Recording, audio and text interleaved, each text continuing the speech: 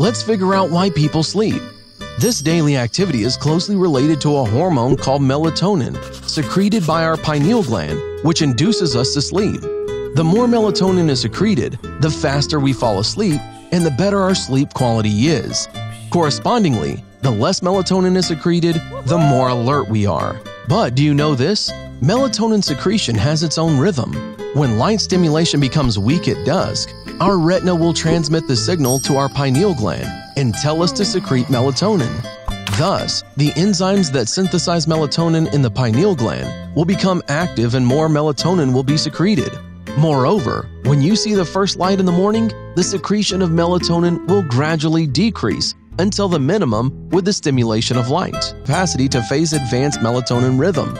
The shorter wavelengths of 470, 495, and 525 nanometers showed the greatest nocturnal melatonin onset advances ranging from approximately 45 to 65 minutes. Various researchers have shown that red light irradiation promotes melatonin secretion, while blue and green light suppresses it and delays the secretion to the night. Based on the above breakthrough, Smart Spectra's R&D team developed a pair of smart glasses this pair of glasses removes harmful blue light and uses completely harmless light with a precise wavelength.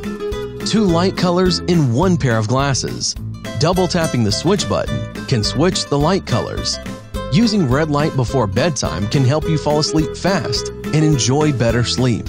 Using green light in the morning will make you feel more rested, refreshed, and active.